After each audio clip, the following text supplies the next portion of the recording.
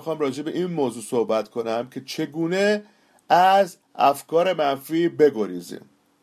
ما این روزا در روزه زبان هستیم که مستعظم داشتن یک زبان مقدس علاوه بر ارتباط نزدیک با خدا و خواندن کلام و به حال روزه و دعا که کمک می‌کنه که آدم در تقدس بره جلو اون چیزی که خیلی حیاتی و کمک می‌کنه به هر کدوم از ما.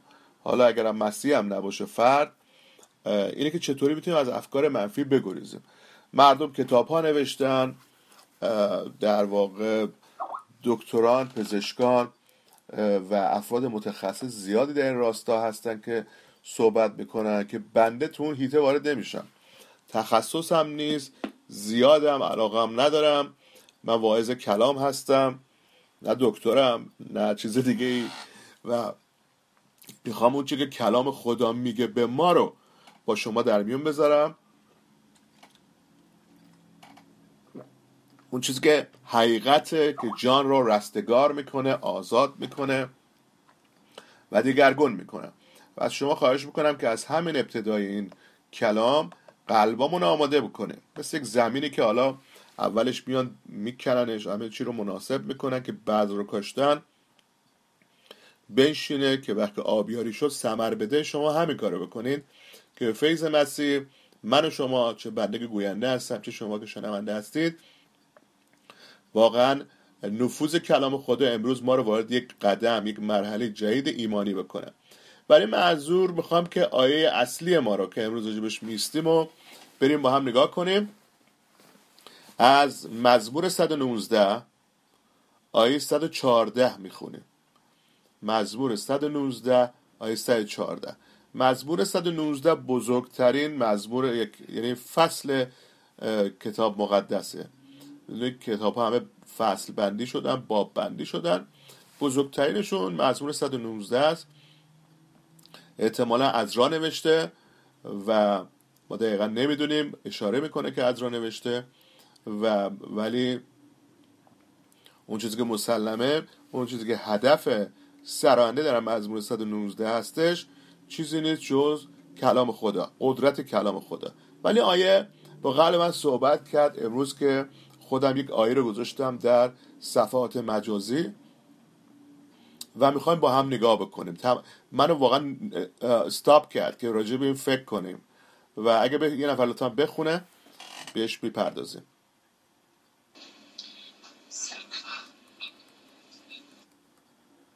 مزبور 119 آیه 114 ستر و سپر به کلام تو انتظار می‌کشم. بله بله. بله عزیز جان بله.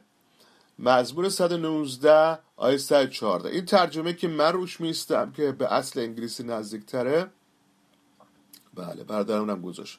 تو پناهگاه و پشتیبان. حالا ترجمه دیگه اون پشتیبان رو سپر می‌ذاره که درسته. سپر یعنی شیلد. شیلد یا سپر میگه حالا ترجمه فارسی اومده یه کاری کنه که خواننده بیشتر متوجه بشه. تو پناهگاه و پشتیبان من هستی یا سپر من هستی به وعده های تو امیدوارم. که این وعده ها همون قول ها و آیاتی که خداوند در کلام خودش قرار داده. من به وعده های کلام تو امیدوارم. بسیار عالی اگه شما 119 رو بخونید که تشویقتون می‌کنم بخونید بعد جلسه. متوجه میشید که سرنده بارها راجع به کلام خدا حرف می‌زنه. مخصوصا مرد جوان چگونه راه خود را هموار می‌کند؟ با دانستن کلام تو. کلام تو چراغ پایهای من است؟ خیلی قشنگه این مزمور حتما بخونید. ولی اگه نخوندید اگر هم خوندید باز بخونید. ولی اینجا چیزی رو اضافه می‌کنه بر این علم بر این دانش بر این تجربه که می‌خوایم اینجا صحبت کنیم که من دونه دونه اینا رو با شما آیه رو می‌خوام خوردش کنم. اگه می‌نویسید که بنویسید اگه میشه که بتونید بهتر با این کلام آشنا بشید نکته اولی که ما در این آیه می‌بینیم اینه که سراینده به نزد خدای خودش از افکار بیهودهی که بهش حمله کردن پناه می‌بره. بسیار مهمه. ما در دنیای زندگی می‌کنیم چون کارنال ما شخصیت جسمانی و نفسانی ما چه چیزایی که امروزه در دنیا هست. شما اگه در خارج از کشور باشید یه تبلیغات همبرگر آدم روش نمیشه نگاه کنه. من میگم من اصلا تلویزیون نگاه نمی‌کنم. حالا ببین چی بشه. نشستیم به تلویزیون روشنه. ولی یه همبرگر خوردن. یه چجوری با افکار آدم بازی میشه. میای خونه بچه ها تلویزیون روشن می‌کنن می‌بینی تو اون تلویزیون اخبار داره میگه این ماشین فرار کرده دارن دنبالش می‌کنن تا بگیرنش. اصلا به نظر من سراسر تبلیغاته. ولی می‌بینی دو ساعت مردم نشسته یه دیوانه سوار اتومبیل شده تو جاده داره میره پلیس هم دنبالشه. آخرم میگیرنش و دست پاشو میبندن. و غیر و تبلیغات های تلویزیونی هم لابلاش میره به نظرم. بنابراین اون چیزی که اون چیزی که خیلی جالبه برای ما اینه که بدونیم حتی تو مدارس حتی تو خیابونا ما یادم یه بار رفتیم لاس وگاس. اصلا شما تو اون خیابونی که خیلی هم چراغونی و خوشگل عکسش رو شاید دیدید تو فیلم اینا اصلا نمی‌تونید راه برید شما. بالا نگاه بکنیم چیزی قشنگی نمی‌بینید. سرت می‌رسی رو به رو ببینی ماشینایی که رد میشن تصویرایی که روش هست جالب نیست. سرت مثل پایین ببینی این تبلیغاتایی که پخش کردن مردم زمین همه چی میگید به قول ما ایران؟ عکسای مستحجن. و همه جا شما تحت حمله افکار بیهوده هستید. بنده هستم. و ما در چنین عصر زندگی می‌کنیم چون عصر ارتباطاته. حتی اگه اون کلیپ کوچیک ویدیویی رو که طرف می‌ذاره توی صفحات مجازی که مثلا دارن یه نفر رو اعدام می‌کنن. حتی اونا هیچ فرق نمی‌کنه. اینا حمله ها و تیرهای افکار بیهوده هستن. اما سراینده در این کیس به خصوص که اون موقع فیسبوک هم نبود میگه به سوی خدای خودش پناه بره در اونجا اون زن یا مرد ایماندار از نفوذ نگرانی و زجر خودش خودش رو نزد خدا پنهان می‌کنه. خودشو پنهان می‌کنه نزد خدا. و در این سکوت مقدس جان او خداوند رو پیدا می‌کنه. و بخوام راجع به این صحبت کنیم. در چنین مکان و جایگاهی وقتی دنیا و وسوسه های اون او رو می‌خونه. من و شما رو می‌خونه. او قادر خواهد بود که خداوند من و شما قادر خواهیم بود که خداوند رو به عنوان پناهگاه خودمون داشته باشه و بدین وسیله او می‌تونه این شخصی که تحت وسوسه ها و افکار پلید و بیهوده و منفی قرار گرفته حالا همه صرفا گناهالود نیستن که در نهایت به گناه ختم میشن. افکار شک نگرانی ترس اینا هم جزوش هستن. ترس یه گناه البته. و این شخص می‌تونه از توصیه ها و وسوسه هایشان شیطانی در امن و امان باشه. در واقع این آیه یک آیه تجربی اون شخص سرانده است. چیزی که خودش شهادت میده. نویسنده میگه این این فهم شخصی منه. من به این پی بردم. مثل که شما بگید ببین دوست من مواظب باش که مثلا چی میگن خربوزه رو با اصل نخوری. چرا؟ من خوردم این چیزا اومد تو بدنم ظاهر شد. مثلا این تجربه است دیگه. یا مثلا از این راه نرو دیرتر می‌رسی. یک تجربه است که این سرانده رو به ما در میون می‌ذاره که خیلی خیلی مهمه. او در این آیه ما نمی‌خونیم که با افکار خودش بجنگه و یا حتی از اونا فرار بکنه. چیزی که ما خیلی سلاش می‌کنیم. حالا قرص به ما می‌خوان بدن پزشکان یا مثلا توصیه خودشونو بکنن اینجوری بشین زوم کن نمی‌دونم اینوری نگاه کن اونو حرفو نزن. این کارا نمی‌کنه. نمی‌دونیم که من تلاش کردم سعی کردم می‌دونی؟ خیلی دارم این کارو می‌کنم. شما هم همین کارو بکنید نه نه نه. اینو نمیگه. بلکه می‌بینیم که یا حتی فرار بکنه. ولی بلکه اون چیزی که می‌بینیم که تجربه این شخص داره ما در می‌ذاره که او نزد خدای خودش میره. دقت بکنید. پس سوال اینجاست. وقتی افکار به سوی من حمله ور میشن ترس ها نگرانی ها سنم رفته بالا چیکار کنم؟ آیندم چی میشه؟ گذشتم چی میشه؟ الانم چی میشه؟ می‌خوام برم یه جایمه دوست عزیز نوشت بردل تا می‌خوام برم مسابقه بسکتبال برامون دعا کنید. برامون دعا کنید. اون موقع ما باید چیکار بکنیم؟ اون موقع اولین جایی که بعد دست به دامنش بشیم به عبارت به قول ایرانی ها اینه که به حضور خدای خودمون بریم. اون از خدای خودش میره چون می‌دونه اونجا تبدیل هست. اونجا جای تبدیل هست. مثل اینکه شما بگید من این نهال رو میکارم جلوی این نهر چون می‌دونم هر موقع آب ازش رد بشه داره به این در واقع نهال من خون میرسونه جون میرسونه حیات میرسونه. می‌دونی؟ مثل این میمونه. من می‌دونم که اگه اینجا باشه خوب رشد خواهد کرد. تبدیل میشه به عبارتی. اگه نمی‌دونم خانمای اینا رو بهتر از من بلدن. سرکه رو برداره بکشی روی نمی‌دونم نقره سفید میشه. تبدیل میشه دگرگون میشه. در نظر داشته باشیم که او از کلام خدا در این آیه برای حفاظت مضاعف استفاده نمی‌کنه. بلکه می‌دونید کاری که ما گاهی وقتا می‌کنیم. ببین؟ اینجوریه. خب این کلام خدا خیلی هم عالیه و خوبه. ولی این کلام خدا رو فقط تجربه شخص دیگه نمی‌دونه بلکه کلام خدا رو به خودش نسبت میده. چیزی که در تعالیم هم میشنوید چیزی که در روزه های زبان که الان داریم مرتب اشاره میشه که به زبان اقرار کن. می‌دونی قدرت مرگ و حیات تو زبان ما هستش دیگه. می‌دونی؟ من دی... حالا بماند. ولی من چیزی دیشب شنیدم بگم اصلا شاخ در آوردم چقدر ما راحت با زبان اون چیزها رو میگیم. حالا صرفا توهین و اینا نباید باشه ولی به راحتی یعنی مرگ رو داریم تو زندگیامون در واقع و بچه هامون وارد می‌کنیم. بدونیم تو نمی‌تونی تو قادر نیستی و چیزای شبیه. ولی یا این بچه عصبیه اسم بذاریم روش. این نمی‌تونه این هر چی میگم نمیشه. اینو داریم اسم می‌ذاریم. نمیشه؟ نمی‌کنه ولی میگم به نام عیسی مسیح خواهد شد. به نام عیسی مسیح او لمس خواهد شد. بدونی این باید سخن زبان ما باشه. پس این این شخص نویسنده نمیگه من می‌دونم داوود رفت به حضور خدا پناه برد خدا سپر او بود کلام خدا او رو امیدوار کرد. چیزی که ما وقتی می‌خونیم گاهی وقتا اونجوری بهش نگاه می‌کنیم. بله مسیح مرده ها رو زنده می‌کنه مریض ها رو شفا میده. اون زن دل شکسته بود مسیح ولی به خود اون می‌رسه عملا در عمل از صحبت ها مشخص میشه. مشخص میشه که ما اینو به خودمون نسبت نمیدیم. بیا عیسی مسیح تو رو آرام می‌کنه. بعد می‌بینی طرف خودش از همه عصبانی تره و چجوری عیسی مسیح تو رو نتونسته از عصبانیت در بیاره؟ که تو میگی بیا عیسی مسیح. اون زمان اتفاق میفته خیلی خوبه که اینو بدونیم. زمانی اتفاق میفته که ما اون آیه رو اون تجربه رو خودمون لمس کنیم.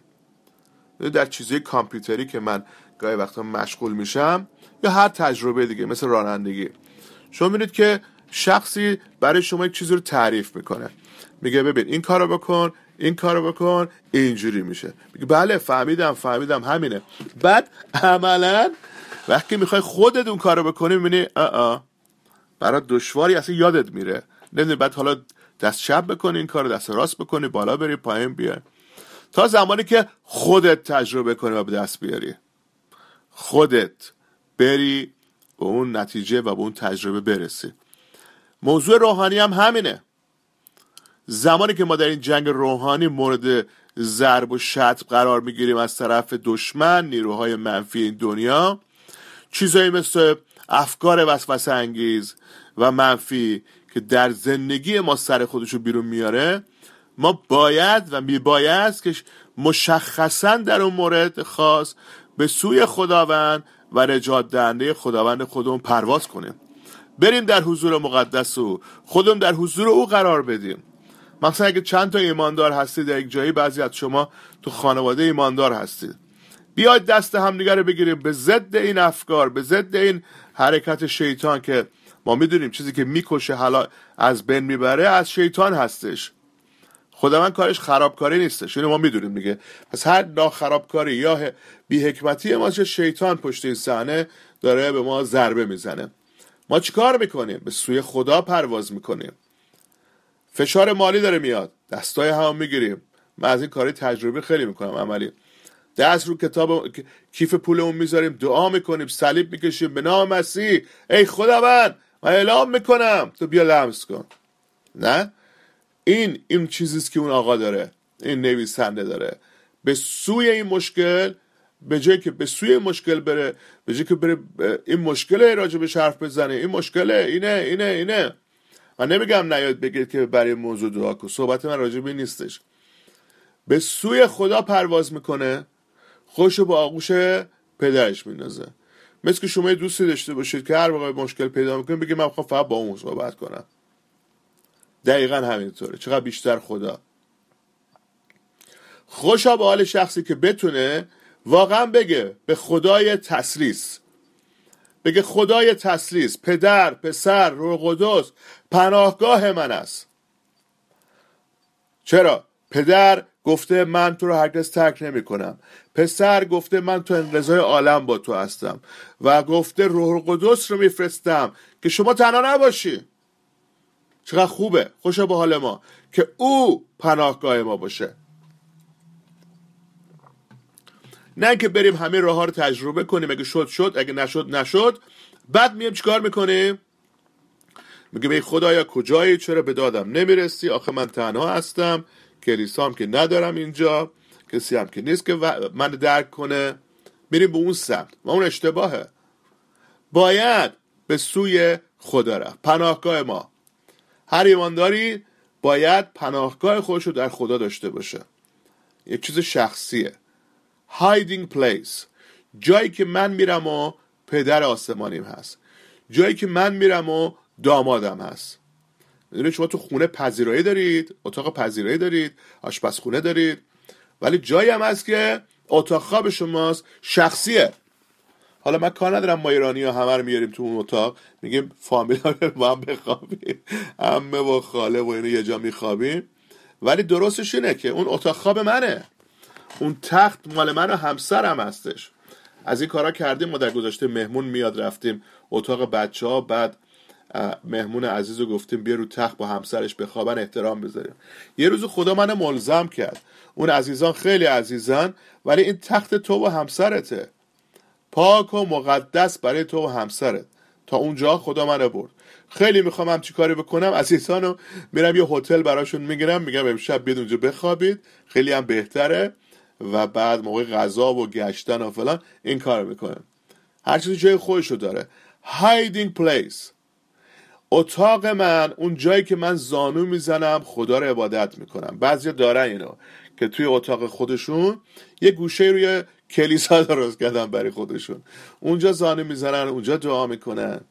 اونجا جاییه که اون شخص با معشوق خودش تنهاست. با محبوب خودش تنهاست. اونجا دیگه کسی دیگه نیستش. سگ و گربه و فامیل و او هستش و محشوقش او هست و خدای خودش. دقت کردی؟ من با شما دعا می‌کنم با شما عبادت می‌کنم باید این کار رو بکنم. چون کلام خدا میگه از مشارکت و عبادت با ایمان دارا محروم نکنید خودتونو. ولی جایی هم هست که من باید با عیسی تنها باشم. اگه بذارن مردم صبح باید من تنها باشم. و راهش هم تلفن رو خاموش کنید. تنها باشم. دقت می‌کنید؟ اونجاست. اونجاست که این شخص زیر عهد پرجلال خدا در امنیت قرار خواهد داشت. می‌خوای در امنیت باشی این تیرابت نخوره. راجع اون سپر می‌خوایم حالا صحبت کنیم. پس اول اون ایماندار خدا رو به عنوان پناهگاه خودش می‌دونه که در سراسر کتاب مقدس راجع پناهگاه بارها صحبت کرده. سرودای خوبی هم داریم حتی به فارسی. ولی دوم پناهگاه هستش. این شخص خدا رو سپر ارز کردم سپر پشتیبان منظورمه. اشتباه نوشتم. پشتیبان و سپر خودش می‌دونه ها؟ می‌دونه که خداوند سپر منه. خیلی مهمه عزیزان. ما در دنیای زندگی می‌کنیم که تکنولوژی تکنولوژی چیزهای مختلفی که در اطراف ما هستش. option زیاد داریم به قول انگلیسی زبان ها حالا حق انتخاب این انتخاب می‌کنیم اون انتخاب می‌کنیم. من میشنوم. طرف میگه ببین دیگه تلویزیون های مسیحی هست دیگه و خودم میرم وبسایت ها کلام خدا رو می‌خونم. این اشتباهه. شما به کلیسا احتیاج دارید. شما به کشیش احتیاج دارید. کشیش کسی که کلام خدا رو میگه شما رو شبانی می‌کنه ولی شما برید با او صحبت کنید با او دعا کنید. و من می‌خوام که بعضی از شما که هنوز چنین ارتباطی رو برقرار نکردید با این فرصت به وجود بیاریم که شما رو بشناسیم که بدونیم برای کی داریم دعا می‌کنیم چجوری دعا می‌کنیم نه؟ رابطه ای که روحانی خواهد بودش. ولی وقتی راجع پشتیبانی صحبت می‌کنیم این شخص می‌دونه که من برای اون چیزی که خدا به خدا احتیاج دارم تو زندگیم تا عمل بکنه نیاز دارم که خدا سپر و پشتیبان من باشه. خدا پشتیبان و سپر ما باشه. می‌دونید مشکل ما چیه؟ که با مشکلات با سختی ها روبرو میشیم با افکار منفی. یعنی که گاهی وقتا غیر از خدا چیزای دیگر رو برای خودمون می‌خوایم پشتیبان و سپر کنیم. شغل بهتر نقل مکان حالا هر چیزی که فکر می‌کنیم اگه این باشه بهتر میشه. این پشتیبان منه. این سپر منه. می‌دونیم اما مزمور پنج های دوازده چی میگه؟ یه عزیزی برای ما بخونه. مزمور پنج آی دوازده. راجع به سپر چی میگه؟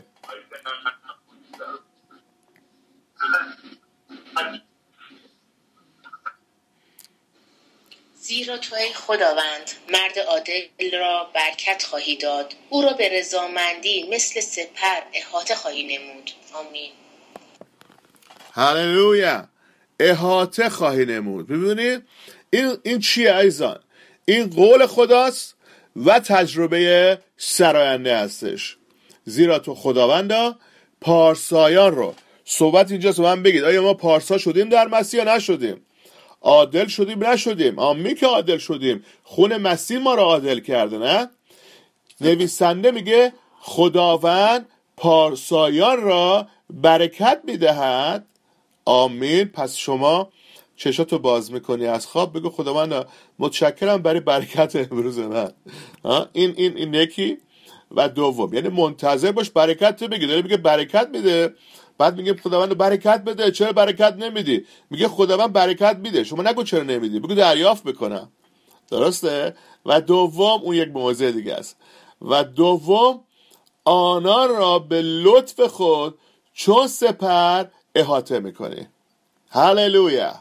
می‌دونی؟ این من امید میده. این من آرامش میده که شب سرم رو بالش بذارم.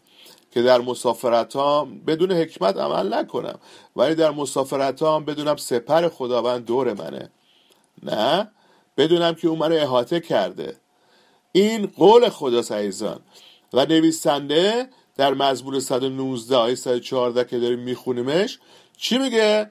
میگه بله خداوند پناهگاه و سپر من است. سپر من است. عزیزان بیایید از خداوند برای خودمون سپر بسازیم. نه از تجربیاتمون نه از آدم ها نه از چیزایی که فکر می‌کنیم اگه من داشته باشم من در امنیت بیشتری خواهم بود. به شما بگم عزیزان اجداد ما راست گفتن. زیر آسمان همه جو یه رنگه. یه رنگه. و هیچ جای امنیت وجود نداره. مگر آغوش خداوند مگر حضور خداوند. شما در خداوند باش اونجا برای شما امترین جای دنیا است. مثال دارم من برای شما. سپر شماست خداوند نه؟ مثال شما کیه؟ دانیال. برای من کیه؟ دانیال. میگه پادشاه رو تو تا تو تو تون آتش ولی دانیال دوستاش اصلا هیچ اتفاقی براشون نیفتاد. اصلا بوی دود نگرفتن. تو چای شیران ناخ. اصلا هیچ اتفاق نیفتاد. خداوند کیه منه؟ سپر منه. و از این موارد ما زیاد داریم تو کلام خدا. ما اینا رو می‌دونیم و کلام نوشته که چی بفهمیم ما؟ که در خدا اطمینان وجود داره که او سپر ماست. و اگر خدا سپر و امنیت منه من از چی باید بترسم؟ من باید حکمت داشته باشم. آمین. من باید صدای خدا رو بشنوم دارم چیکار می‌کنم تو زندگیم آمین. ولی لزوم نداره من ترس داشته باشم. و شما دقت کنین شریر سعی می‌کنه به مسیحیت فارسی زبان مرتب و من ترس رو منتقل کنه. مواظب باش. اونجوریه اونجوریه این از خدا نیست. حکمت داشته باش تا با مواظب باش خیلی فرق می‌کنه. آمین که باید حکمت داشته باشه. ولی من زندگیمو به دسته خدا میدم و نگران نخواهم بود. من به شما میگم آیدیاتون رو مواظب باشید چه بنویسید با هر کسی دوست نشید در حتی کلیسای اسکایپی ما اینا رو به شما میگم. ولی دلیل نمیشه که من بترسم. نه این, این, این ترس ما نیستش بلکه نگاه کردن به خدایی که گفته حکمت هم داشته باش. سوم این چنین شخصی میگه به خدا و وعده های او امیدواره. یکی از قسمتی قشنگترین و زیباترین قسمت این آیه کوتاه هستش. مزبور 119 آیه 114 قشنگترین بخش این آیه هستش. به وعدای خدا امیدوار است. خیلی جالبه که این عزیزان در اون زمان کتاب مقدس با ترجمه مختلف نداشتن. این همه چیزهایی که ما داریم. معلوم است که سرنده که داره مزمور 119 می تو بیابونه نشسته سوار هواپیما نبوده اون موقع سه هزار سال پیش چهار هزار سال پیش. نمی‌دونم تو چه شرایطیه. ولی یک چیز رو تجربه کرده که ما با این همه چیزهایی که داریم می‌تونیم نسبت به اونها خودمون رو پروتکت کنیم و خیلی راحت باشه. بالاخره یه واکسنی هست بزنیم به بچهمون. حساب بانکی هستش نمی‌دونم قفلی در خونمون هستش بزنیم. اینا می‌دونیم ولی با این حال به زندگی امیدوار نیستیم. در مزامیر میگه که داوود میگه جوان بودم پیر شدم مرد عادل ندیدم گرسته نان میشه محتاج نان میشه خیلی جالبه. کی داره میگه؟ اون موقع که انقدر امکانات وجود نداشت. بازم اشاره می‌کنم به این قضیه. اما بر خدا امیدواره. و برعکس اون چیزی که ما در این آیه می‌تونیم ببینیم گفتم قشنگترین قسمت این آیه اینه که به وعدای خدا امیدواره. و برعکس نه به تلاش خودش. ایزان نه به تلاش خودش. چیزی که اتفاقا ما داریم برعکس که وقت عمل می‌کنیم. تلاش بکنیم زندگی ما بهتر بشه تلاش بکنیم. فرق می‌کنه با کار کردن و زحمت کشیدن. اصلا خیلی فرق می‌کنه. البته عزیزی که داره مدرسه میره باید درساشو خوب بخونه. کسی که ورزش می‌کنه باید کار رو تمام کنه. یکی از عیبایی که در خودم در گذشته دیدم و در دیگرانم می‌بینم اینه که یه کاری که شروع می‌کنم تموم نمی‌کنم مثل موسیقی یاد گرفتن هر چیز دیگه ای باید تلاش کرد. نابرد رنج گنج میسر نمی‌شود. ما اینو می‌دونیم نه؟ ولی این تلاش با اون تلاش فهم می‌کنه. این این تلاشیه که طرف بگه من کارو درستش می‌کنم. بدون این بچه منه توی این مصیبت بذار من یه کاری بکنم. شما قرار نیست کاری بکنی. شما قرار به کجا بری؟ مزمور 119 آیه 114 بری دست خدا که پناهگاه توه سپر توه. زانو بزنی گریه کنی اگه لازمه. استقاسه کنی. خداوندا من به تو محتاجم. و شما چند نفر می‌دونی که خدا جواب دعای ما رو میده؟ خداوند تو بیا مداخله بکن. در اون کیس بچه که عرض کردم اگر با بچه مسئله وجود داره میام میگم خداوندا برسی که این آقا این دختر رو به من دادی این پسرم و دخترم و خدای شکر برای وجودشون. ولی قبل از اینکه این بچه مال من باشه خلقت توه بچه توه. قبل از که مال من باشه تو رو صلیب براش مردی. من نگرانی به تو واگذار می‌کنم. من به نگرانی دارم صحبت می‌کنم. اشتباه نشه. درس غیر اخلاقی نمیدم خدمت شما. پس من به جای که خودم تلاش کنم اجازه میدم خدا برای من تلاش کنه. یک و کاری که من بد انجام بدم اینه که به وعده های خدا امیدوار باشم. خب تو این کیس خداوند چه قولی داده؟ خیلی راحت. رجوع می‌کنه به کلام قدرتمند خداوند ما نگاه می‌کنیم وعده های خدا رو یکی یکی یادداشت می‌کنیم توکل می‌کنیم و اعلان می‌کنیم. خیلی مهمه ایزان. وعده های خدا من گفتم بازم میگم. مثل یه چک سفیدی میمونه که شما باید فقط برداشتش کنی خرجش کنی. تمام شد رفت. چند وقت پیش یک اداره برای ما یه چک فرستاده گفته اگه شما اینو بردارید ما به شما این وام میدیم. دست شما داد نکنه. اینو یا باید پارش کنی یا بذاریم تو بانک فوری استفاده کنی. بعد نگاه کنی بهرش خوبه برای چی داده چی می‌خواد از شما. حالا دور زمونه بانک هم که دلش برای شما نسوخته که. حتما یه برنامه داره دیگه. بنابراین ولی اون چکه قابل چیه؟ استفاده است. و اگر شما اونو واریز نکنی به حسابت و استفاده نکنی درسته به اسم شما هست. ولی چی؟ ولی هنوز به شما تعلق پیدا نکرده. وعده خدا در این, دو در این هزاران سال وعده های مسیح در این دو هزار سال گذشته داره عمل می‌کنه. عمل می‌کنه. تاریخ میگه. زندگی ما داره میگه. تجربه ما داره میگه. به چشم بیدیم در زندگی خودمون دیگران که چگونه خداوند از طریق آیات و معجزات عمل کرده و داره می‌کنه. پس کاری که فقط ما بکنیم میگه بله خداوندا. آمین. من موافقم. منم همینه میگم. منم همینه می‌خوام. من از این ساده تر نمی‌تونم موضع کنم. منم همینه می‌خوام. آمین یعنی بله بشود. دریافت بکنم. در مورد ازدواج آمین خداوند دریافت بکنم. در مورد نجات بچم من خیلی نگرانم. مطمئن باشید عیسی مسیح نگرانتره. می‌دونید چرا؟ چون شما برای اون بچه رو صلیب نمردید. ولی عیسی مرده. شما رو نیافریدید اما عیسی رو آفریده. این در مورد زوجتون هم صد می‌کنه پدر و مادر و بچه ها فرق نمی‌کنه. من نمیگم باید بی تفاوت باشیم. اتفاقا روزه می‌گیریم دعا می‌کنیم یک دل میشیم. تا خدا اون شخص رو لمس کنه. این این کار ماست. ولی اینکه به گناه ملزم شه تغییر کنه زندگی شده یه کار رلق ما به چی پشتوانه می‌تونیم آرامش داشته باشیم؟ چطور می‌تونیم تو این شرایط سخت از این شرایط بگریزیم و نگرانی از رو ما قرار بگیره؟ موقعی که به وعده خدا اطمینان می‌کنیم. هللویا. هللویا. می‌دونید چون خداوند گفته است من هم می‌گویم. من هم می‌گویم. هللویا. چون خدا گفته. چجوری من میگم ما به زودی برمیگردیم ایران؟ ایران آزاد شده برای آزادی مذهب. منظورمه. راجب سیاست کار ندارم. برای که کلام خدا گفته. این چیه؟ این امیده که من بر خدا دارم.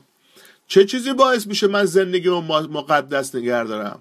و بعد نگه دارم وظیفمه به زودی میرم در آسمان. به زودی عیسی برمیگرد این امیده که اگر امید از انسان بگیری کارش تمامه. نه بردر امید و امید و حیات رو. نه؟ دکترا برید پیششون میگن آقا این عزیز با این مشکل رو بداره روبرو شده و نداریم بچه کار کنیم. ولی به خدا امید داشته باش. اگه به خدا اعتقاد ندارن به هر چی اعتقاد دارن میگن امید داشته باش. نه؟ حتی پزشکا میگن اینو. حتی پزشکا میگن. به یه چیزی اعتقاد داشته باش. به خدای امیدوار باش. امیدوار باش. انسانو کلام خدا میگه ما به امید و ایمان و این چیزای بعد در واقع احتیاج داریم.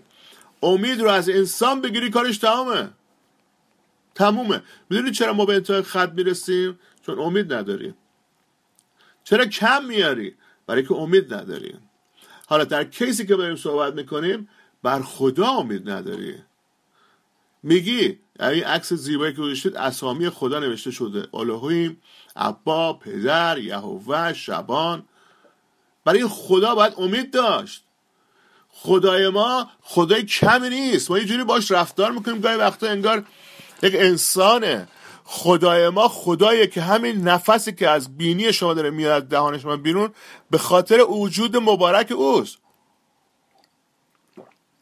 خدای ما خدای ابراهیم عزیزان خدای اسحق خدای موساست که دریا رو باز کرد.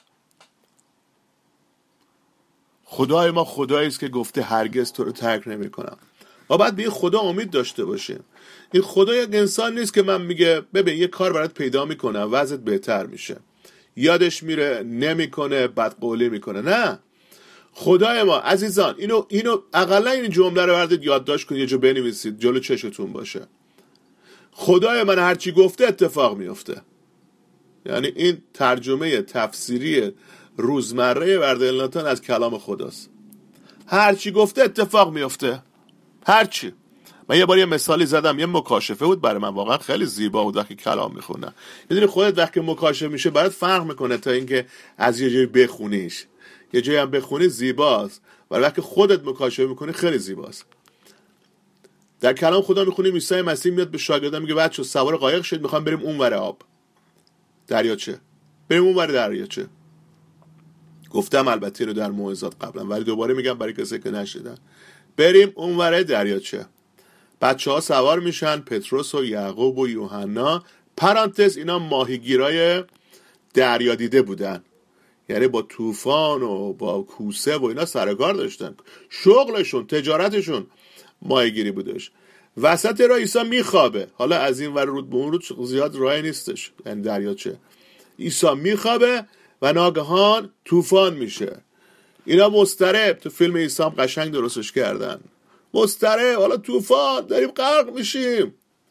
و شما وقتی تو آب اون طوفان میاد که غرق میشی. کار تمام دیگه. اگه کسی نباشه. و ناگهان میان پیش کی؟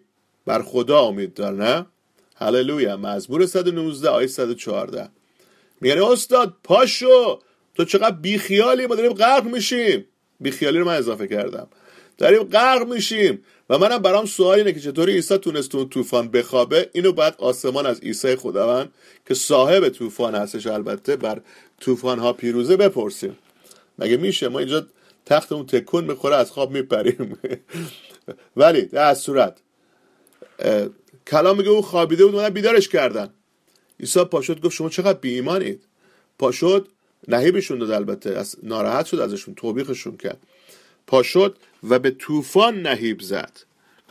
گفت ای طوفان خاموش شو. و کلام میگه طوفان چی شد؟ خاموش شد. ولی چه چیزی رو این شاگردان توی این ماجرا از دست داده بودن؟ بی ایمانی اونها در این ماجرا کجا بود؟ بی ایمانی امید نداشتن از بی اطلاعی میادش. از عدم شناخت میادش. شما کسی رو به شناخت نداری بهش ایمان نداری؟ برادر بهت میگم این کارو بکن. لطفا بشین یه جا دعا کن. با کس حرف نزن فعلا. اگه بهش ایمان نشته باشی من تو این چند روزه به یک دو نفر اینو می‌گفتم. چند وقتی لطفا بشین در خلوت خودت با خدا دعا کن. و طرف هی اینجوری می‌کنه هی اونجوری می‌کنه. انسانه دیگه نه؟ بعد اومدم بهشون روز صبح نوشتم عزیز جان حرف من گوش کن. به من اعتماد کن. وقتی. باور نداشته باشی شما نمی‌تونی اطمینان بکنی. مثل کسی که پشت فرمون نشسته. شما نمی‌دونی واقعا می‌تونه ماشین هدایت کنه نکنه. همش در حال ترسی. نکنه ما رو بزنه به جایی. برای نمیگه به من اعتماد کن. راحت باش خیالت. من بلدم جاده رو نه اتفاقا دیروز یه عزیزی در همین نشست کشیشان گفت گفت ما تو گردن ها رو اندهی کردیم ما با یکی دیگه صحبت نکرد جاده بلدیم به همین شکل وقتی عیسی مسیح چیزی رو میگه ما باید برای اطمینان کنیم. یه چیزی جا افتاده بود تو این ماجرای عیسی و شاگردان. عیسی بهشون گفت بچه ها میریم اون آب. این تجربه نشون میده که حتی اگه طوفان بشه چون عیسی گفته میریم اونور آب میریم اونور آب. هللویا. عیسی میگه ایمان بیار که تو و اهل خانه نجات پیدا می‌کنه. می‌دونی بعضی وقتا من چجوری میگم؟ میگم اون شوهری که ایمان نمیاره اون خانمی که ایمان نمیاره اون پدر مادر بچه حق انتخاب ندارن. به نام عیسی مسیح باید ایمان بیارن. چون خدا گفته البته این مزاحه. ولی می‌تونه ایمان هم باشه نه؟ چون می‌گفتم مزاحه چون گاهی وقتا خود آدم ها باید این انتخاب کنن. خدا هم به زور این کار نمی‌کنه. ولی واقعا ما می‌تونیم دعا کنیم. خدا من متشکرم که فرزندم مال توه. چون تو می‌خوای پسرم مال تو باشه هیچ کس و هیچ چیزی نمی‌تونه اونو از تو بگیره. هللویا. سرم می‌ذارم به راحتی شب میخوابم. باور کنید توی این موضوع خیلی تجربه دارم من. الانش هم اینجوری هستش. و وقتی در ترکیه گفتن بچهتون میمیره شب اول در بیان اونا گفتن بچهتون رو باید بکشیم. گفتن ما مسیح هستیم نمی‌کشیم. تازه ازدواج کردیم. سال اولمون اولین بچه‌مونه. راجع به خنوق صحبت می‌کنم که الان پیش خداونده. و بعد شب اول مردان نمیذاشتن توی بیمارستان باشه توی استانبول. شب اول کسی نداشتیم در که زبون بلد نبودیم. من تا صبح تو بیمارستان قایم میشکی می‌رفتم این ورور برای که نازنین رو یه دقیقه بالا سرش باشم. پرستار من می‌رفتم قایم می‌شدم. مثل این فیلم های سینمایی. دفعه دوم ما توی این فاصله ما گذشت و به حال گفتیم خداوند هرچی اراده تو و راجع به شفا دعا کردیم همین گذشت. و دفعه دوم که مجبور شدیم بریم بیمارستانی علائمی اومد که بعد بریم بیمارستان. من با نازنین جون دعا کردم چون قرار نمی‌تونستم من اونجا باشم. درسته؟ قایم شکی. و گفتم تو رو به دسته خدا میسپارم. نازنین منو بغل کرد منو بغل کردم. رفتم خونه راحت خوابیدم. اولین بار بود که می‌تونستم راحت بخوابم برای این شرایط. و صبح پا شدم رفتم. بچه به دنیا آمده و رفت پیش خداوند. نذاشتن من ببینم. نازنین جان رو بغل کردم. دستامون رو بلند کردیم شک گذاری کردیم. گفتیم خداوند تو دادی تو گرفتی. تو رو شک می‌کنیم تو دوستت داریم. امروز به عنوان یک شهادت راجبش صحبت می‌کنم. به عنوان چیزی که میشه بر خدا امید داشت. تجربه شخصیه. باز دارم میگم. پس خیلی مهمه که ما در شرایطی که وجود داریم بر قدرت خودمون توکل نکنیم به تلاش های خودمون. صحبت اینه که به تلاش خودمون اضافه نکنیم. خودمون از به آغوش خداوند. او به خودش نگاه نمی‌کنه این شخص. در پی یافتن چاره و روشی نیستش تا اونها رو امتحان کنه. بلکه در پی امان بودن از خطرها و تمام وسوسه ها هستش. هللویا. من میرم به آغوش پدرم چون اونجا وضع بهتره. مثل کسی که تو مشکل میگه شب میرم خونه بابا خونه مامان همینجوریه. پس کسی که کمک کمک طلبیدن رو تجربه کرده برای کسی که کمک کردن و کمک طلبیدن رو تجربه کرده بسیار آسونه که امید رو تجربه کنه. این جمله رو می نویسم تا ساعتی بعد می‌ذارم فیسبوک. خیلی جمله قشنگیه برای کسانی که کمک طلبیدن رو تجربه کردن خیلی آسونه که امید رو تجربه کنن. من دفعه قبل تجربه داشتم. از یه نفر کمک خواستم کمکم کرده. خب این نفر من امیدوارم که پیدا می‌کنم که این کار برای من انجام میده. هللویا. براحتی. یعنی تنها کاری که ما لازمه انجام بدیم امید داشته باشیم و شادمان باشیم. البته بر خداوند امید داشته باشیم. شادی کنیم. شکر ای خداوند. یک چیز ساده ای یک چیز جزئی که در زندگی همه ما قرار می‌گیره باعث نشه ما شادیمون از دست بدیم. بلکه بگیم نه من بر خدا امید دارم. هللویا. و چون بر خدا امید دارم من شادی می‌کنم. آمین. من شادی می‌کنم. چون امید من بر خودم نیست. امیدم بر خدایی که قبلا تجربهش کردم. جا... امتحانشو پس داده این خداوند هللویا. شکر. شادی می‌کنم. کلام خدا همیشه در برابر ما مقرر شده و دلیلی برای امید داشتن ما می‌باشه. هللویا. کلام خدا یک کتابی نیست که بذاریمش بالای تاخچه و اینها. کلام خدا مقابل ما قرار گرفته که ما بدونیم که میشه به این خدا اطمینان کرد. هللویا. چرا؟ چون جلو دریا موسی و اون قوم رو نجات داد. هللویا. چون موقعی که ابراهیم بچه دار نمی‌شد بهش بچه داد. هللویا. نه؟ چون عیسی این فرد رو شفا داد. چون عیسی گناه این شخص رو بخشید. اگه گناه این شخص رو بخشید گناه منم میبخشه. پس من بر خدا امید دارم. ادامه میدم. هللویا. اگر بردل ناتان چنین تجربه رو داره در مورد ترکیه میگه پس برای منم امید هستش. بر خدا امید دار. هللویا. خیلی مهمه عزیزان. و حالا کاری که کسی که امید داره چیکار می‌کنه؟ شادی می‌کنه. هللویا. جشن می‌گیره. شیرینی میده هستن ما می‌خوریم. شیرینی چه می‌دونم شیرینی فروشه تهران بی بی تو یادمه. اینا بدید بخوریم ما می‌خوریم. گیرمون نمیاد که. شیرینی اینجا چاخانه. امید داره شادی می‌کنه جشن می‌گیره. چی شده؟ چی شده؟ من دارم جشن می‌گیرم. هللویا. چرا جشن می‌گیری؟ چون خداوند گفته اینطور میشه. هللویا. این این علکی خوش بودن نیست یک واقعیتیه. چرا؟ چون می‌دونه که او ما را حمایت می‌کنه و به ما کمک می‌کنه. او می‌دونه این شخص می‌دونه. با خوشحالی. تا بتونیم بر چنین شرایطی غالب بشه من نمی‌تونم غالب بشم. من نمی‌دونم باید چی کار کنم. ولی خدا به من میگه. خدا کمکم می‌کنه. او کنار من هست. شما من بگید که این نشان دهنده اینه که ما به خدا اطمینان داریم یا نداریم. این نشان دهنده اینه که ما فهمیدیم کی هستیم یا نفهمیدیم کی هستیم. برعکس افرادی که برعکس این عمل می‌کنن نشون میدن که هنوز خدا رو نشناختن. من شده عزیزی که در خطا افتاده بهش گفتم ببین برو در حضور خدا چون خود من این کار رو باید بکنم می‌کنم. برو در حضور خدا و اونجا بمون کلام بخون بذار خدا در قلب و زندگیت عمل بکنه. نگفتم بیا بریم با هم بشارت بدیم بیا ده یک بده و ازت درست میشه نه. برو در حضور خدا امید بده. چون وقتی کلام می‌خونید امید در شما به وجود میاد. بذار من یه چیز دیگه بگم خدا از من ناراحت نمیشه. اگر کلامو نخونی ناامید میشی اتفاقا. از کجا می‌فهمید کسی کلام می‌خونه نمی‌خونه؟ نشانش چیه؟ وقتی بی ایمان میشه کلام نمی‌خونه. وقتی ناامید میشه کلام نمی‌خونه. وقتی امیدوار ایمان داره شاده پر از محبته مگه میشه کمال هم نشین بر ما اثر نذاره؟ ما می‌دونیم اینو عزیزان. ببندید اون چیزهایی رو که داره ناامیدی در شما به وجود میاره.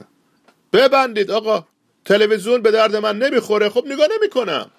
و اگر نگاه می‌کنم انتخاب می‌کنم نگاه می‌کنم. اگر حتی یک عزیز یک چیزی رو می‌نویسه جایی شما می‌خونید که احساس می‌کنید که در به ضد ایمان شما و وعده خداست آقا اصلا اونو دیلیت کنید. تمام شد رفت. تعارف که ندارم من با کسی که. نه من با اون مخالفم. اون چیز به درد من نمی‌خوره. اون چیز نمی‌تونه امید منو زیاد بکنه. اون چیز منو ناامید می‌کنه.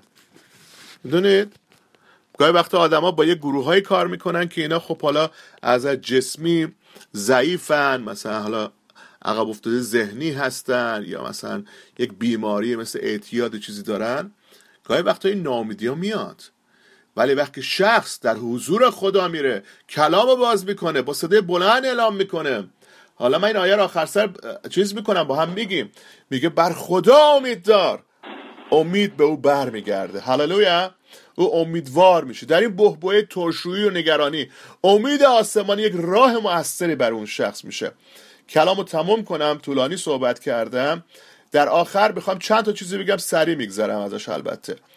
این آیه به ما یادآوری می‌کنه چه چیزی رو بدونیم. راجع مزمور 119 آیه 114 صحبت می‌کنیم که امروز صبح در گذاشتم در صفحات اجتماعی و خیلی کنجکاف شدم و خداوند با من صحبت کرد. با شما دارم در میون می‌ذارم. اینجوری باید کلامو خون دیگه نه؟ تمرکز می‌کنه خدا با شما حرف می‌زنه. خدا به شما مکاشفه میده. هللویا. چه چیزی رو به ما یادآوری می‌کنه این آیات؟ این آیه. یک به ما یادآوری می‌کنه. اینا رو بنویسید خواهش می‌کنم. یک خدا خدای قدرتمندیه. جلال برنامه عیسی مسیح. اشعیا 9 6 و 7 میگه بخونید بعدا. اشعیا 9 6 و 7 به ما میگه که او خدای مشیر راجع به مسیح داره نبوت می‌کنه در این آیه. سالها قبل از که مسیح به دنیا بیاد اینها میگه او پدر سرمدیه او مشاور عجیبه خدای قدیره شاهزاده صلح و سلامتیه. من نمی‌دونم آدم چرا باید شاهزاده صلح و سلامتی رو نپذیره بره سراغ خرافات. و بعد در آخر آیه هفت میگه قدرتش از حال تا ابد بر نیکی و عدالت متکی خواهد بود. جلال برنامه مقدس عیسی مسیح. قدوس عیسی مسیح. او خدای قدرتمندی عزیزان. او خدا اینجوری باید بگی بابای من خیلی بزرگه. بابای من شخص کوچیکی نیستش هللویا. اینجوری باید به خدا ما نگاه کنیم. خدای من قدرت هر کاری داره. دوم خدا خدای والاییه. خیلی مرتفع هستش. عیسی مسیح در جایگاه آسمانی و در جایهای آسمانی و در واقع در دست راست خدای پدر نشسته. آیا ما ایمان داریم به این؟ هللویا. در, در جایهای آسمانی. عیسی مسیح انسان نیستش که بگی دست پاشو بنده بذاری تو زندان که. انسان می‌تونید چرا؟ می‌تونید این کار بکنید ولی او در جایهای آسمانی نشسته. سوم خدا خدای مکانهای مخفیست عزیزم. وقتی شما نمی‌دونی بعد کجا بری پناه بگیری به دکتر بری پناه بگیری به کشیش بری پناه بگیری به پدر مادرت پناه بگیری به دوستی به مواد مخدر یه چیزی که شما رو از این وضعیت بیرون بکشه پناه بگیریم خدا یک مخفیگاهی داره. هللویا چقدر سخن زیباییه. در اون شرایط بگو خداوند مخفیگاه من کجاست؟ من می‌خوام وارد مخفیگاه های تو بشم. Hiding place. اون مکانی که تو بلدی. من نمی‌دونم. در این شرایط نمی‌دونم کجا باید برم. به, چه، به کی متوسل بشم؟ می‌دونیم ما انسان ها باید به چیزی متوسل بشیم دیگه. حالا در کشور ما به مرده ها و مقدسان قول معروف میرن میچسبن. در جای دیگه چیز دیگه هستش. ولی درستش این نیست. اونا بتپرستیه. درستش اینه که ما به خدایی که مکانهای مخفی داره بریم متوسل بشیم. کلام بخونید. خداوند می‌دونه که با موسی چیکار کنه تو بیابون. خداوند می‌دونه با یوسف چیکار کنه. خداوند می‌دونه با استر چیکار کنه. با دانیال چیکار کنه. اگر خدا برای اونها مکانهای مخفی داره برای من شما نداره. داره عزیزم. هللویا. اون مکانهای خدای نامحدودی هستش. او خدای نامحدودی هستش. خدا مکانهای مخفی داره. غزل غزل ها غزل غزل ها باب دو آیه چارده غزل دو چارده میگه مکان به ما نشون میده که مکانهایی که تنها خدا می‌دونه و انسان از او با خبر نیستش. انسان خبر نداره. شما نمی‌دونی. میگی من نمی‌دونم واقعا منظور شما چیه. خب چون شما نمی‌دونی مکانها رو مخفی است که خدا می‌دونه. تنها جایی که خدا از اون با خبر هستش نه؟ غزل غزل ها که میگه او کبوتر منه در شکاف صخره پنهان می‌کنه. چهارم مسیح وفاداره. هللویا. با هم بگیم مسیح وفاداره. او وفاداره. کلام به ما نشون میده. او آدم نیست که زیرش بزنه که زیر قولش بزنه. او وفاداره. ما گاهی وقت خودمون بیوفایی کردیم و در خیلی از مواقع دیگران بیوفایی کردم خدا ولی وفاداره. مکاشفه سه چهارده شهادت میده که عیسی امین و راسته. او وفاداره. او خیانت نمی‌کنه در امانت. در امانت خیانت نمی‌کنه. پنجم این آیه نشون میده که عیسی کوشاست در تلاش هستش. شما فکر می‌کنی خدا کار نمی‌کنه. اون لحظه که هیچی نمی‌بینی دلیل نمیشه خدا کار انجام نمیده. خدا داره اونجا یه کاری انجام میده. خدا داره یه کاری انجام میده. بگید بگید متشکرم که داری برای من یه کاری انجام میدی. هیچ نشانی نیست ازش هیچ خبر نیست. عزیزان زمانهای خدا زمان ما نیستش. این سی و هفت سال گذشته بعد اتفاق میافتاد که من و شما بفهمیم ملت ما بفهمه خدای واقعی کیه و به او ایمان بیاره نجات پیدا کنه. سی و هفت سال که دو سه سال دیگه مال من میشه پنجاه سال. هللویا. خیلی سختی ها رو داشتیم خیلی تاریکی ها رو داشتیم. مهم نیست راجب چی صحبت می‌کنم راجب زندگی بد یعنی اون چیزی که نرمال نیستش که خیلی از دوستای ما همین الانش هم تو شرایط خوبی نیستن. ولی دلیل نمیشه خدا خاموش باشه؟ مگه خدا بازنشسته میشه؟ مگه خدا مرخصه میره؟ این خدا خدای من در تلاشه. ببینید مزمور 121 آیه 3 رو بخونیم. مزمور 121 آیه 3 یه عزیزی بخونه اینجور بهتره. مزمور 121 آیه 3 ببینید چی میگه راجع به خدا.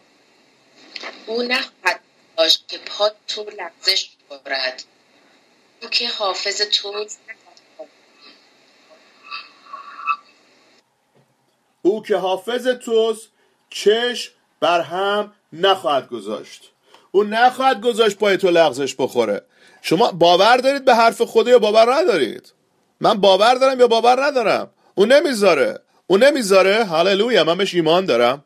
هللویا. او میگه من نمی‌ذارم پات بلغزه. پس چرا من نگرانم پام بلغزه؟ آیا فکر نمی کنیم ما هنوز نفهمیدیم خداوند کیه؟ باید بیشتر رو بشناسیم که بهش اطمینان کنیم وقتی میگه من نمی‌ذارم پاد بلغزه البته نبوتی راجع مسیح ولی همین برای ما هم هستش صد می‌کنه صادقه. اون نمی‌ذاره پای تو بلغزه. او که حافظ تو هست.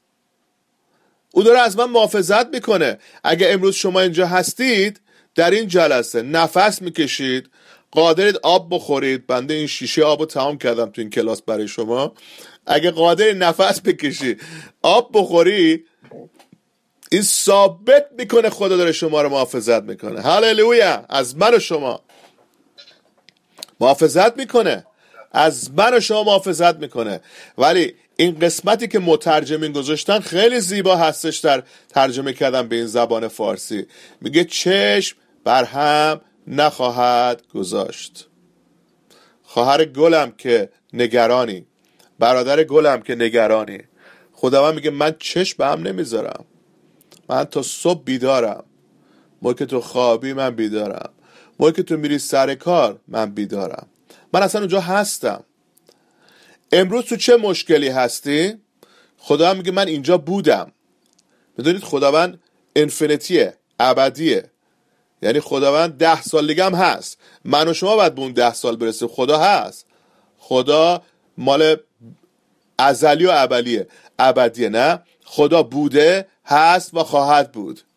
خدا می‌دونه 20 سال دیگه. اونجا هست. اون 20 سال آینده من که از نرسیده. من دیدم در فیسبوک مردم عکس گذاشتن 20 سالگی قیافم چه شکلی میشه. اون, اون, اونجا خدا هست. حالا اگه آدم زنده باشه تو این دنیا. اونجا هست. چشم بر هم نخواهد گذاشت. این بدونی به من چی میده؟ ای گفتید امید میده. هللویا! سرام بذارم به راحتی بخوابم. اشتباه نکنید. این بیخیالی رو نمیرسونه. بی تفاوتی رو نمیرسونه. نه نه نه نه نه. کاری که من باید بکنم به خدا نمی‌کنه. من باید انجامش بدم. سو استفاده نکنه من درس نمی‌خونم می‌خوام برم امتحان بدم. اگه میشه؟ باید درس بخونی بری امتحان بدی. درس نخونی رد میشی. دوباره درجا می‌زنی. اینجوری هم نیست که خدا. کار نکنه کلام خدا میگه نونم نخوری. مردم میگن دعا کنیم وضع مالی خوب شه خب. ولی نمیگن کار می‌کنیم که پول در بیاریم. کار شرافتمندانه هیچ فرق نمی‌کنه چه کاری هستش. موضوعی که من می‌خوام احتیاج مالیم برآورده بشه نه؟ کار شرافتمندانه بدون دروغ. و نمی‌تونی بگی خدا من کار بده بعد نشسته باشی سر جات. از تو حرکت از خدا برکت ایرانی ها میگن نه؟ ولی به من اطمینان میده که اگه من در پی کار هستم برای اینکه امتحانم برم بدم سر کلاس بهترین خواهم داد چون خدا با من است. چون خدا پلک نمی‌زنه. من سهممو انجام میدم ازش مواظبت می‌کنم سهممو قدم بر میدارم او هم هللویا چشمشو بر نمیداره حافظ من محافظت می‌کنه. جلال. خدایی که دندان دهد نان دهد دیگه مگه نگفتن ایرانیا ما این و مسئله رو می‌زنیم. گاهی وقتی یادمون میره خودمون چی میگیم. نان دندان داد نارم داد دیگه. حالا چه نونی میدن نمی‌دونم سنگک لواشه. ولی خدا می‌کنه این کارو. هللویا! او محافظه. اگه بخوام راجع به همین صحبت کنم باز میشه یه ساعت دیگه. من و شما باید چیکار کنیم؟ بدونیم که به خداوند به عنوان پناهگاه خودمون محتاجیم. می‌خوام با هم دعا کنیم. من و شما بدونیم که به پناهگاه خداوند محتاجیم. خود خداوند پناهگاه ماست. اشتباه نکنید. پناهگاه خداوند خبر خوبی نه عزیزان. خبر خوبی نه الان آیش رو نگاه می‌کنیم. پناهگاه ما اون جایی که میگیم هایدینگ پلیس های ما که خدا برای ما در نظر داره از قبل برای ما مهیا شده. اینم خبر خوشی که با این بخوایم جلسه تمام کنیم. ما به پناهگاه احتیاج داریم. اگر خدا هست خب مهیا شده نه؟ اگر خدا میگه من پناهگاهتم من پناه بیار پس پناهگاه من از قبل مهیا شده. من فقط باید چیکار کنم؟ خودم تو آب ول کنم نه؟ برم خودم فقط در آغوشو. زانو بزنم میگم آخش پدر تو پناهگاه من هستی. هرالیا مهیا شده. بدونی؟ پناهگاه ما مهیا شده. با این آیه جلسه تمام می‌کنیم. اشعیا 25 14 لطفا.